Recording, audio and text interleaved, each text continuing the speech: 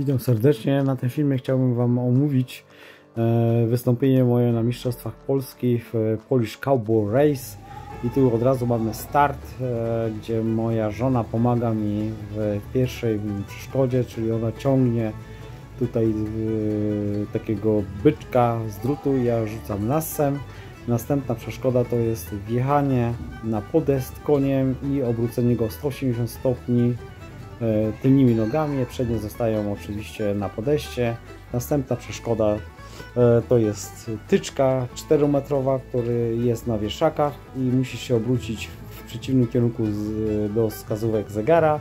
W międzyczasie musisz się obrócić jeszcze e, w, dodatkowo koniem tą samą stronę. Następna połowa e, tego obrotu tyczką wymaga tego, żeby się obrócić oczywiście w drugą stronę e, koniem. Tak jak widać, wszystko robisz, kierujesz, sterujesz koniem jedną ręką, bo w drugiej ręce trzymasz e, tyczkę. Oczywiście dokładnie musisz położyć.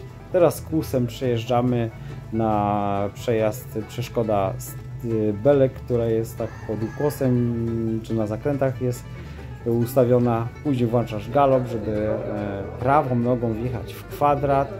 Po wyjeździe z kwadratu zmiana mm, na lewą nogę, wjeżdżasz znowu na kwadrat, rozwalasz e, ścianę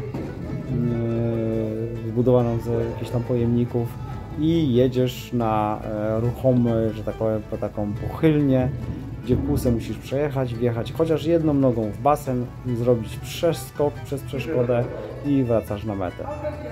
No i tak to wyglądało właśnie na Mistrzostwach Świata, gdzie y, Mistrzostwach Polski, przepraszam, już się zagolopowałem trochę. No, ale tak w skrócie chciałem Wam y, pokazać właśnie jak to wygląda na zawodach i dziękuję, że oglądasz mój kanał i do zobaczenia.